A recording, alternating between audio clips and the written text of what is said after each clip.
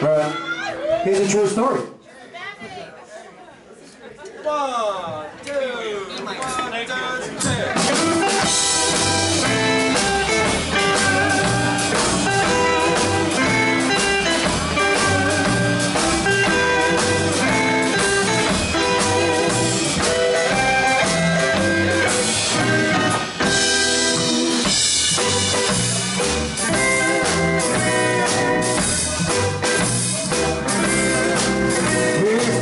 She is so forgot She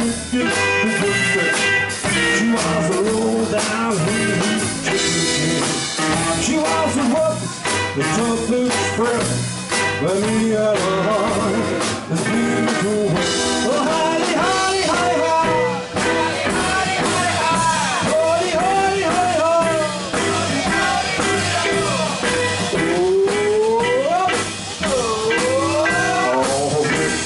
know where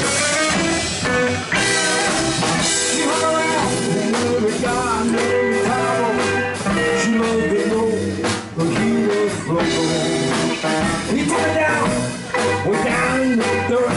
When he played his guitar, well, she made the first